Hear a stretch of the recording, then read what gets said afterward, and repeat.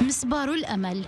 من حلم إلى حقيقة واقعية امال كثيره علقت عليه ومنذ أن بدأت رحلته حقق العديد من المهام العلمية التي أدهشت العالم ومنها التقاط أول صورة شاملة لظاهرة الشفق المنفصل في الغلاف الجوي للمريخ أثناء الليل باستخدام الأشعة الفوق البنفسجية.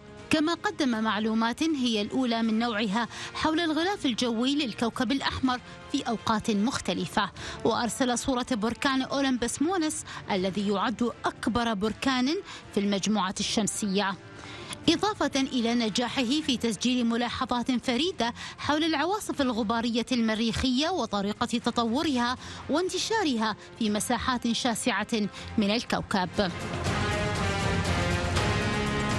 ونشر مسبار الأمل حتى الآن أربع حزم من البيانات العلمية التي جمعها وذلك في إطار التزامه بمشاركة هذه البيانات وإتاحتها مجانا للمجتمع العلمي حول العالم.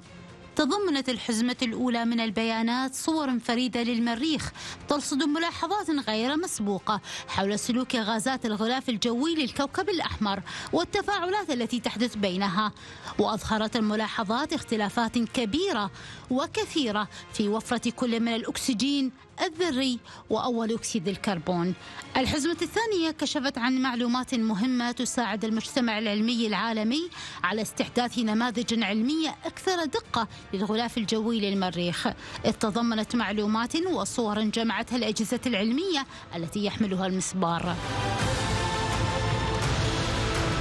وفي إبريل الماضي نشر المشروع الحزمة الثالثة من البيانات التي ستساعد الخبراء على توسيع فهمهم حول التغير المناخي على الكوكب الأحمر والتي تتمحور حول دراسة الرياح ومراقبة ظاهرة تشكل الغيوم وحركة العواصف والغبار.